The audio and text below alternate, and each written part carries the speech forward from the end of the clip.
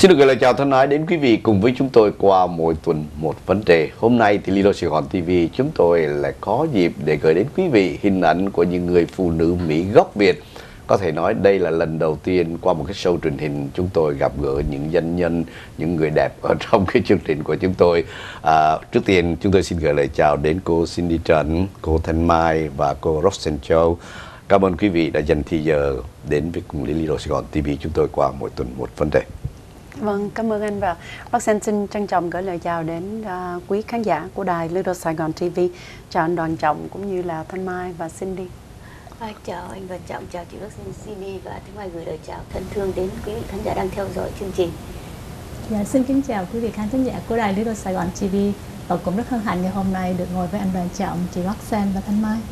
Kính thưa quý vị, hôm nay chúng tôi muốn gửi đến quý vị hình ảnh của những người phụ nữ của người Mỹ gốc Việt chúng ta họ đóng một cái vai trò rất quan trọng trong sự sinh hoạt cộng đồng của chúng ngày cuộc cộng đồng người Việt chúng ta ngày hôm nay. Họ là những người đã từng phục vụ trong quân đội như cô Cindy Trần là một trong những người đã từng có một cái thời gian phục vụ trong quân lực Hoa Kỳ và hiện nay ngoài cô có thể giới thiệu về một vài việc làm của cô hiện nay như thế nào thưa cô Cindy Trần?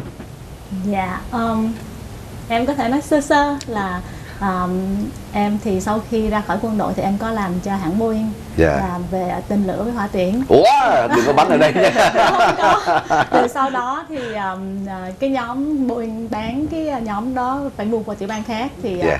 em được làm việc trong bộ quốc phòng Dạ. thì à, cũng làm về những cái um, những việc cho quân đội Dạ quá à. Và bên cạnh thì chắc quý vị không lạ gì khi nào quý vị nhìn lông mày tôi là quý vị biết cô Thanh Mai, một trong những người doanh nhân ở đây, cô sinh hoạt rất gần gũi với cộng đồng và đặc biệt với Lilo Sài Gòn TV chúng tôi và chắc tại tôi nhận lời lại cho cô Thanh Mai, thưa cô Thanh Mai dạ, chào anh Trọng và cũng như ừ, quý vị khán giả cũng đã biết rồi Thanh Mai thì ờ, thông thường với cái chương trình làm đẹp với Hoa hậu Thanh Mai và hôm nay thì được anh Đoàn Trọng mời lên để nói về những cái ờ, cuộc bầu cử sắp tới Thanh Mai cảm thấy rất là vui và sẽ muốn góp một cái một cái ý kiến À, wow. dạ. Bên cạnh đó thì chắc quý vị không ngạc nhiên khi quý vị thấy cô Roxanne Châu là một trong những người mà gần gũi với cộng đồng chúng ta, sinh hoạt trong cộng đồng, là một người cư dân ở thành phố Westminster và chắc là tôi muốn dừng lời lại cho cô Roxanne Châu. Yeah. dạ, Sen thì thua xa hai người phụ nữ này À. chỉ là à, cư dân của thành phố và cũng là một người à, à, sinh hoạt trong cộng đồng đã nhiều năm. À, sinh hoạt là vì có cái à, thứ nhất là có cái đam mê với cái cộng đồng người Việt của mình và đam mê với những cái sinh hoạt nói chung những cái cái gì liên quan tới văn hóa người Việt của chúng ta thì là à, mình lại rất là đam mê Kính thưa quý vị, đó là ba người phụ nữ sẽ chia sẻ về những cái quan điểm, lập trường của họ và những cái ước mơ cũng giống như những gợi gắm của họ vào cuộc bầu cử sắp đến diễn ra vào ngày mùng 4 tháng 11, ngày mùng 6 tháng 11 tới đây. Chắc quý vị biết khi vai trò người phụ nữ chúng ta nói đến chắc là nam giới chúng ta thua họ xa. Vì quý vị thấy người Mỹ gốc Việt chúng ta hiện nay có một vị dân biểu liên bang địa hạt ở Florida. Cô đánh bại một trong những có thể nói là ứng cử viên hạng nặng đã có 20 năm ở quốc hội của liên bang. Và đó là người Mỹ gốc Việt có tên là Jennifer.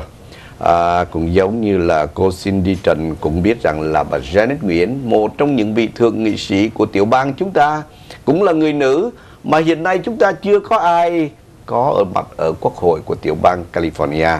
Vì nói sơ sơ vậy thì quý vị biết còn nghị viên và chúng ta cũng có nghị viên ở, hai nghị viên người Mỹ gốc Việt ở thành phố Garden Grove à, và một bà à, luật sư Dina Nguyễn à, có làm ở cục thủy cục đi biểu tình lúc nào cũng thấy mặt bà Dina Nguyễn hết. Cái đó cũng là một trong những người phụ nữ luật sư hoạt động rất là hăng say. Thì đó là những người phụ nữ mà chúng tôi thấy rằng chúng ta hãnh diện về họ. Và hôm nay bởi lý do đó chúng tôi mới muốn muốn mời tất cả những người phụ nữ đến đây để chia sẻ. Và cái quan điểm của họ đã từ lâu chúng tôi chỉ mời nam giới. Đó là lý do ngày hôm nay qua mỗi tuần một vấn đề thì chắc quý vị cũng biết ngày mùng 6 tháng 11 tới đây sẽ là một cái cuộc bầu cử rất là quan trọng đối với quốc gia Hoa Kỳ. Ngay cả toàn bộ dân biểu liên bang, một phần ba thượng nghị sĩ của liên bang và thống đốc cũng đồng thời những chức vụ quan trọng của tiểu bang. Và đặc biệt chúng ta ở đây Orange County chúng ta có chức vụ thượng nghị sĩ. Hiện nay bà Jenny Nguyễn đang tranh cử cũng giống như chức vụ uh, địa dân cử dân cử nó gọi là assembly dân biểu của tiểu bang ở địa hạt 72 và có hai người rất gần với cộng đồng đó là ông Chuck Lowenthal và ông Tyler Diệp bởi thế chúng tôi muốn hỏi quý vị quý vị có quan tâm đến cái cuộc bầu cử này không? Chắc phải nhờ cô Cindy Trần trước yeah. Wow, um, dạ thì um, dĩ nhiên là khi mà đã ngồi đây có nghĩa là mình có một cái concern có nghĩa là một cái gì đó mà mình muốn um, coi như là muốn đóng góp cho cộng đồng mình. Thì dĩ nhiên mình phải biết những cái chuyện xảy ra trong cộng đồng. Thì um, như anh vừa nói là um, cái suy nghĩ gì về um, cái chức vụ hay là về cái phiếu bầu. Thì um, đối với em um, những người nào mà đã ra tranh cử là những người phải có giống như mà chị Roxanne hồi nãy nói phải có cái passion phải có cái đam mê để giúp cho cộng đồng. Thì những người nào mà mình thấy họ có cái cái đam mê đó có cái cái niềm ao ước muốn giúp cho cộng đồng mình muốn giúp cho những người dân mình đi những buổi những cuộc biểu tình như anh vừa nói hồi nãy. Đó là um, thì hy vọng là um, mọi người sẽ coi, coi qua những cái cách hoạt động của những người ứng cử viên này. Rồi từ đó mà mình có thể nhận định được là người nào mình nên bỏ phiếu cho. Wow, wow, như vậy thì mấy cô còn kính thưa quý vị, đó quý vị nhìn thấy chưa? Người phụ nữ bây giờ họ nhìn một cái rất cách là sâu sắc tất cả những cái hành kiểm, những công việc làm, những cái quá khứ của người ứng cử viên khó qua mắt của họ quý vị cần phải nói rõ cho họ biết và thế thưa cô Thanh Mai cô là một trong những doanh nhân ở đây thì cô nghĩ gì cuộc bầu cử sắp tới điều gì cô phải nghĩ cô phải làm trước tiên nào? trước tiên á, là mình phải đi bầu cử Oh, wow. hay hay phải đi bầu phải không? Dạ, phải vâng, đi bầu, phải đi bầu. À, thứ hai nữa là mình phải nhìn xem người nào mà đáng để được lá phiếu của mình bầu à, wow. mình không có mình không có cần biết là họ là ai nhưng Dạ. mà thực sự mà nói là phụ nữ thì đương nhiên mình trước tiên mình nhìn phụ nữ trước À, như vậy cô là kỳ thị rồi sao? không em nhìn trước nhưng em Là nhìn, nhìn hết trước. mà em không có nhìn một mình phụ nữ Dạ. và mình thực, thực sự mà nói cái quá khứ và những cái hành động của người ta rất là quan trọng để cho mình cho những cái lá phiếu Oh, wow. Dạ. Thì cô Roxanne là một trong những người biết rất nhiều về cái qua tiến trình những cuộc bầu cử ở đây. Bầu cử ngày 6 tháng 11 đến đây đến với cô như thế nào? Um, có thể nói là um, nó nó có nhiều cái mối lo âu lắm anh là tại vì người Việt mình nó đa số là họ mình tuy là mình ở đây trên 40 năm nhưng mà có một số người họ có lẽ là vì không có cái thời gian để theo dõi cho nên họ không có nắm vững cái vấn đề. Cho nên cứ nhìn thấy cái tên tiếng Việt là cứ bỏ phiếu. Cho tới khi mà cộng đồng mình nó đổ bể ra quá nhiều những cái cái cái cái cái tệ hại đó thì mới bắt đầu uh, nhìn ngó nhưng vẫn còn một số những người là vẫn cứ tiếp tục là uh, âm thầm không theo dõi nhưng mà cứ ờ, tới cái cái cái ngày bỏ phiếu thì thấy cái tên Việt Nam là gặp Nhưng, thôi. nhưng mà thưa cô Roxanne, tôi bầu người Việt vì người Việt họ nói cùng ngôn ngữ với tôi, họ có quá khứ với tôi, nó dễ thông cảm với tôi hơn chưa thưa cô Rox, uh, Roxanne? Dạ vâng, mình ờ, ý Roxanne nói đây không phải là mình không nên bầu cho Ồ, người Việt. ồ, dạ. Nhưng Roxanne nói đây là cái lá phiếu là cái tiếng nói của mình. Và mình phải chọn một người nào xứng đáng để đại diện cái tiếng nói đó của mình. Và tại mình không lên tiếng được. Họ là cái người mình chọn để đứng ra lên tiếng. Thành thử họ phải họ họ phải xứng đáng.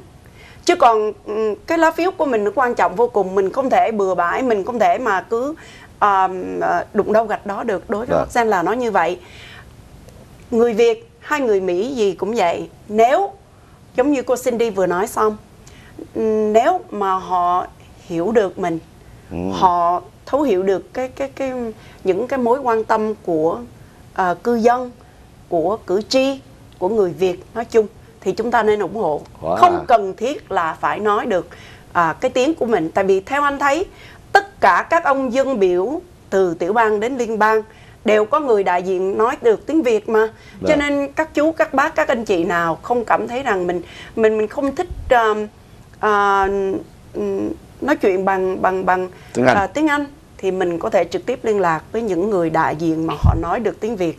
Đó chứ không cần thiết là mình phải bỏ phiếu cho cái người người Việt. Dĩ nhiên Roxanne là người Việt là một cái người à, Roxanne lớn đây lớn lên ở đây nhưng mà vẫn giữ được cái tiếng Việt vẫn sinh hoạt trong cộng đồng người Việt vẫn yêu cái tiếng Việt lịch sử Việt là anh biết là dĩ nhiên là cái gì người Việt mình nó cũng hơn mình mình cũng có một cái một cái nhìn nghĩa là mình à, à, nó hơi um, gọi gì bias. Yeah. là Việt Nam mình thì luôn luôn là mình ủng hộ cho Việt Nam. đúng rồi ta về ta À, tắm ao ta mà.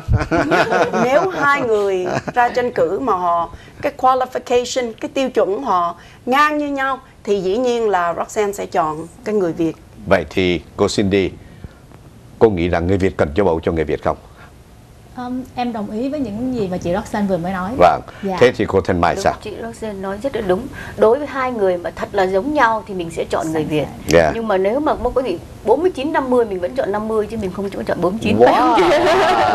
Các ứng cử viên, quý vị nghe những lời nói đây thì cuộc tranh cử của quý vị, quý vị cần quan tâm vì ngày nay những người phụ nữ họ có một cái tầm nhìn xa hơn. Không nhất thiết phải là người Việt là sẽ được lá phiếu của họ. Bởi thế quý vị cần phải làm sao cho biết rằng tôi sẽ là người nhận được lá phiếu của quý bà. Quý vị đang cùng với chúng tôi qua mỗi tuần một vấn đề và chúng tôi trở lại với quý vị trong giờ lát.